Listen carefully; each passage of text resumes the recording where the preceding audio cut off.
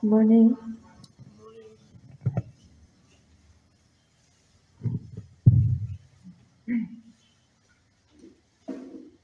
Let us uh, let us look at the book of Matthew, chapter nine.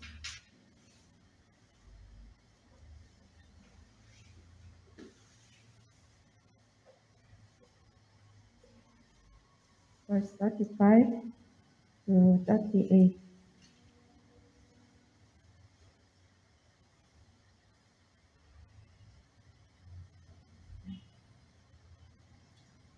Will. And Jesus went throughout all the cities and villages, teaching in their synagogues and proclaiming the gospel of the kingdom and healing every disease and every affliction. When he saw the crowds, he had compassion for them because they were harassed and helpless, like a sheep without a shepherd.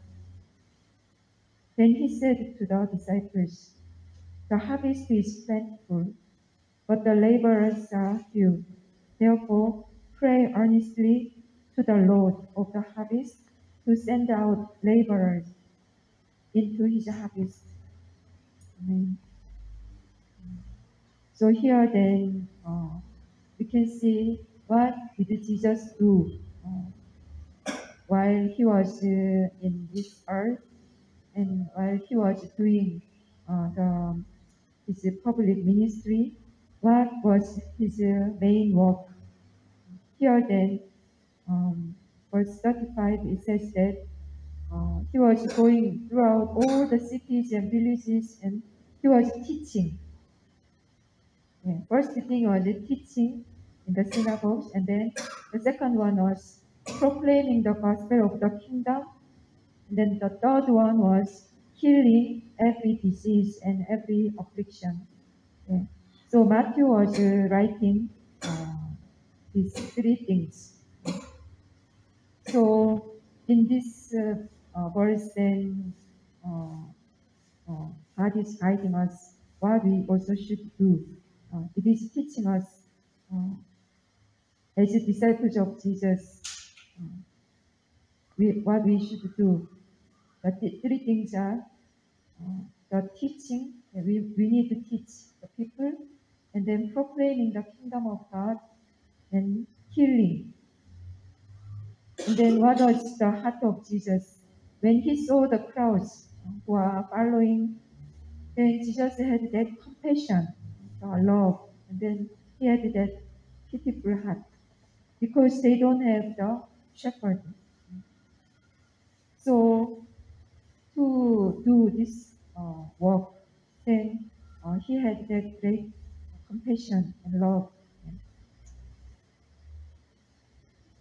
So this time, uh, Jesus also said to the disciples that uh, there are a lot of people ready uh, to be to be uh, harvested. So you need to pray, and then so that God can send send you the, uh, the workers of the kingdom of God. So this time is a time of a harvest, right? So uh, we need to work for this uh, work of harvest. So yesterday when I was um, outside, then I was just thinking about um, uh, what kind of heart and attitude uh, I must have. So um, I I just remembered this verse, and also another one was uh, uh, Apostle Paul, his life of uh, evangelism. Uh, so let us look at the book of Corinthians, First Corinthians chapter nine, verse nineteen. First Corinthians chapter nine.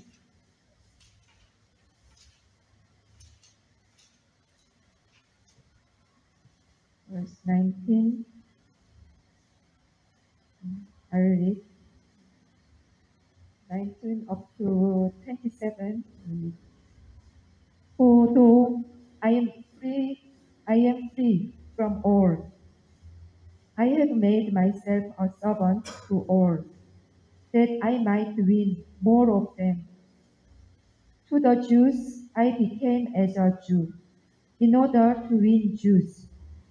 To those under the law, I became as one under the law, though not being myself under the law, that I might win those under the law. To those outside the law, I became as one outside the law, not being out, not being outside the law of God, but under the law of Christ, that I might win those out, outside the law. To the weak, I became weak, that I might win the weak. I have become all things to all people, that by all means I might save some. I do it all for the sake of the gospel, that I might I may share with them in its blessings. Do you not know that in a race all the runners run, but only one receives a prize? So run that you may attain it. Every athlete exercises self-control in all things. They do it to receive a perishable bread, but we an imperishable. So I do not run aimlessly. I do not box as one beating the air, but I discipline my body and keep it under control, lest after preaching to others, I myself should be disqualified. Amen. So here then we can really learn, learn, learn a lot of things about the attitude of uh, uh, Apostle Paul, his life. So his life was like uh, running toward the goal. So if we don't know the direction of life, then we will wonder a lot. A lot right? So when I was young, then I used to uh, dream many things. At that time, I, I, I didn't have faith. I didn't have really real faith. But then, so I was seeking what should be my aim or my direction. And then I, I could see, uh, I can do this, I can do that. But then, what is, what is, it, what is the meaning? I can do, maybe I can achieve something. But then what is the meaning? Yeah. What is the real, like, uh, um, really I can get through it? I couldn't really find it. So my life, I felt that it is really uh, meaningless, uh, even though I can be top of maybe academic things. But then, what? What is that? no, there is no meaning if uh, I don't know. So, but then if we know the direction, uh, it will be better. And then Apostle Paul, not only direction, he had very clear goal. He had a very clear aim, which he must follow. He was very clear in it. What is it? It is Christ. He was uh, running toward the toward Christ. He wanted to resemble him. He wanted to live like him so that he can achieve uh, the resurrection and he can achieve the true eternal life and the reward. So his life was really fixed for that goal. So he said that I, I am free man. I am free man. No one is forcing me something. I, I have every freedom through Jesus Christ. But then I made myself as a servant or slave to all the people. So with that freedom, I selected to live this life. And then he had great joy through it. It is not like by force, but then he was uh, with his will, he left everything and then he followed this life. So he followed Jesus. As Jesus said to the disciples, follow me. It should be all the Christians. It's not like uh, some people who live this some kind of uh, lifestyle can follow Jesus. But even though we are all different, but then Jesus is the goal for all our, our lives. Fundamental goal to the common Christians, we should follow the life of Jesus. And then we can follow him as he showed us his life, right? So people can follow someone as others show the life. It is, we can say, role model or media. We can say media. So by looking at it, we know and we can follow. We can resemble. Right? So we, um, if we want to also uh, make disciples, or we can yeah, guide people, then we need to show our life. Right? If we cannot show something uh, to the good example, then people will just follow us as we do. So the true message of life is through uh, the true teaching is coming through the life. So teaching is good, but then if we cannot show through our life, then this teaching cannot be very powerful teaching. Okay? But then Jesus, he showed through his life. Then, then how about Jesus? How he could know? How could how he could learn? From whom he could learn? Yeah. Jesus looked at Father. Yeah. So let us read John chapter 5, verse 19.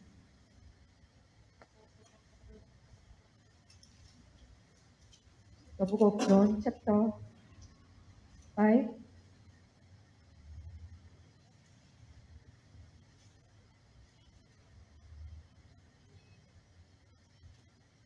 verse 19, he says that, So Jesus said to them, Truly, truly, I say to you, the Son can do nothing of his own accord, but only what he sees the Father doing. For whatever the Father does, that the Son does likewise. So, uh, Jesus said that uh, the Son can do only what he sees from the Father. So Jesus saw Father's doing what Father's doing, then he could learn and then he could do it. Jesus was not just living alone. Always he was looking what Father is doing. And then that's how he did also, following Father. Yeah. So what did Jesus saw? Uh, what he saw this uh, how God was uh, doing in the history, what he did in the uh, in the history, but how he was suffering uh, to guide the people uh, in the great sinners in the world. How God tried to guide them, how to save them. That kind of pain and suffering that effort Jesus could see. And then he was following God. So as he saw that, as many maybe prophets, as many the people of God were suffering and uh, killed, uh, then God was there in the middle of uh, their sufferings, and God had that pain, and then God tried to guide the people even though they were going toward the great sinful life, continually God was calling them. Jesus could know. And then that's how he also could follow that way. And then that's how also Apostle Paul, he wanted to also follow the life of Jesus. As he looked at, as he could see, he could know how Jesus suffered, and then how he could die on the cross, then Apostle Paul wanted to also follow the way of Jesus. So we are also the ones who are trying to follow Jesus and also apostles' life, right? So we are following that their footsteps. So how is God? God is also has all the freedom, right? More than us. He has all the freedom. He, he is Almighty God. He is eternal God. He doesn't have any limitation. But then, why he came to this world? Why he wanted to um, have that relationship with man who has very limit limits, yeah. who is really yeah, unable to do many things. But then God wanted to uh, relate him with us. And then for it, then he lowered himself. Know, as God who befriend with us. Is it really, uh, is it really easy? Actually, it is great lore, uh, loreness. Yeah. And then Jesus came down to this world, even though he could sit down at the high position, yeah, at the throne. And then he could enjoy, he could just uh, enjoy that glory. But then he came down, he lowered himself, and then he became like slave. He became like a servant. He limited himself, and then he was killed like a sinner. So um, we believe God who was revealed through Jesus Christ. What kind of God He is, uh, which, which who was revealed through Jesus, it is the God of love. Even though He could, uh, He could just leave us alone, as we were fallen, as we were went astray, we were against God. But then, so He could uh, just leave us alone. We were great enemy of God. But then He wanted to save us. He wanted to be united with us. He wanted, he wanted to be dwelling in us. And then he wanted to make the beautiful world of love with us. That's why he lowered himself. Jesus, he lowered himself and then he denied himself. He did not follow his desire.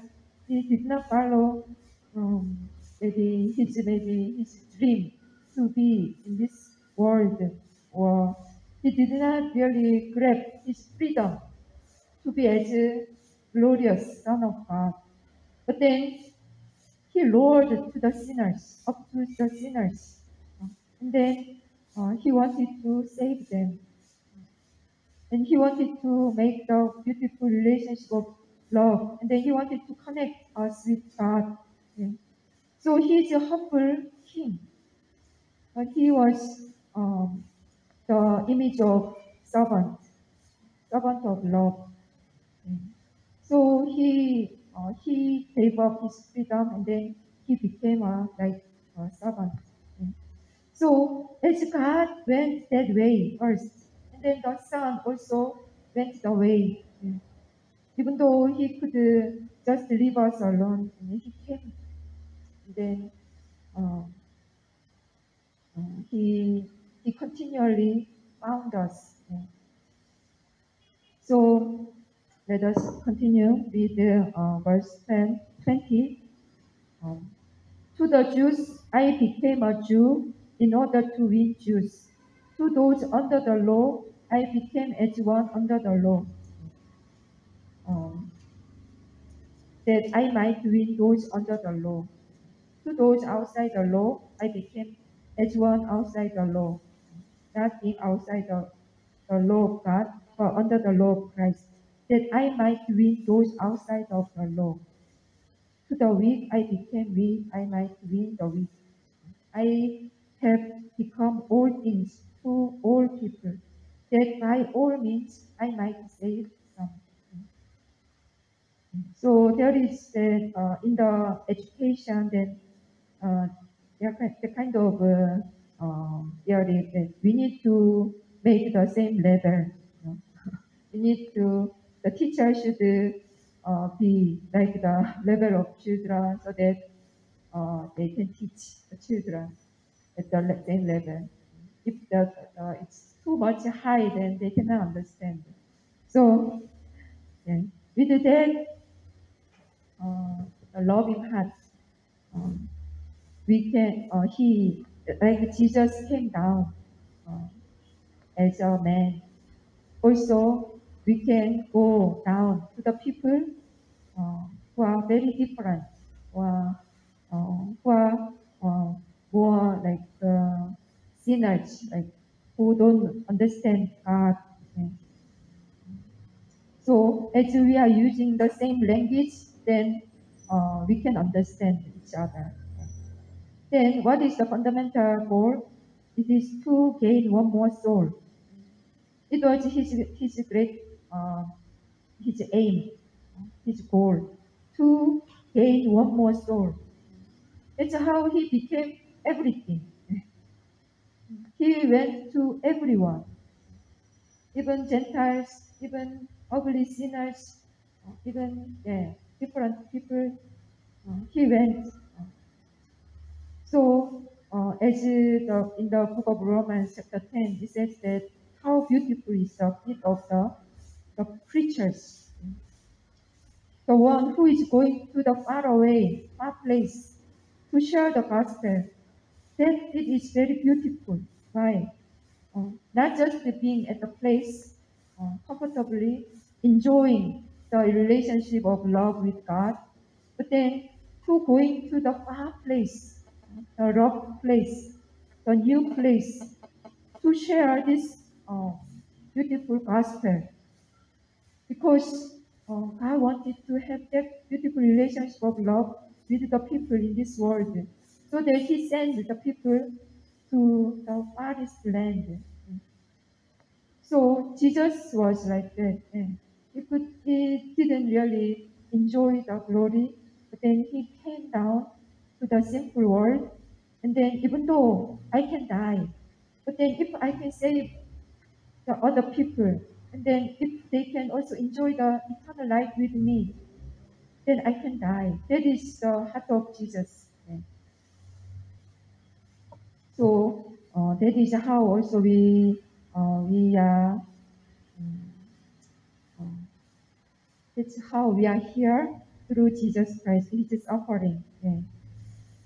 So uh, let us look at uh, Psalm chapter 126.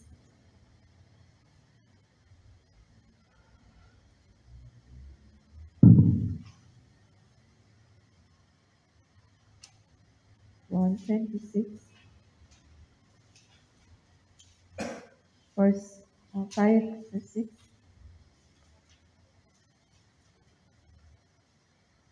Those who sow in tears shall reap with shouts of joy.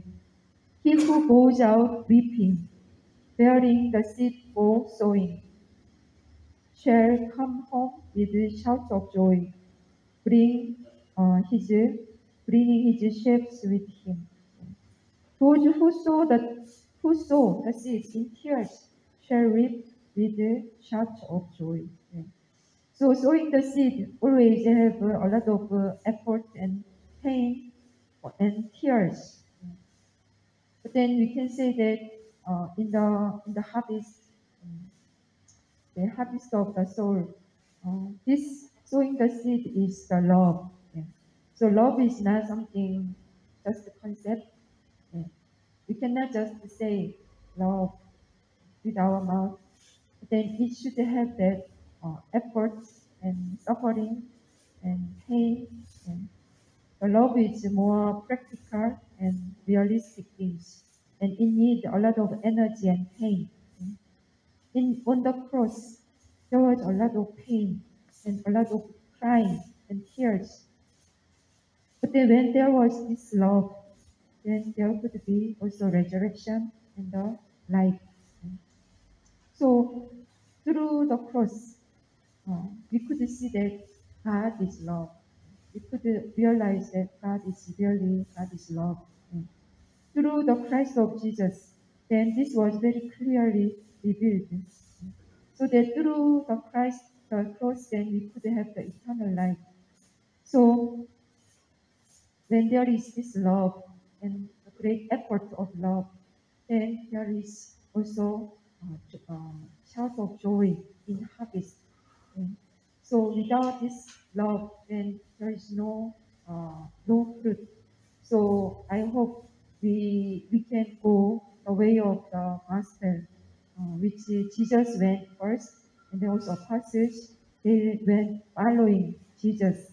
And so we also want to uh, follow this way of Jesus and apostles, so that we can uh, see the great harvest and we can enjoy it with joy. And yeah, let us pray together. Our Heavenly Father, thank you for this time and thank you for your word. Uh, we could see uh, how Jesus walked the way of uh, the cross and the life of uh, evangelism and teaching and healing uh, with the heart of love, uh, knowing uh, the great uh, love of Father and also Apostle Paul, uh, apostles, they were also following the way of Jesus with this heart of love. Father God, we want to also follow this way, and we don't want to go astray and wandering uh, around this world, um, doing something uh, meaningless things and beating the air.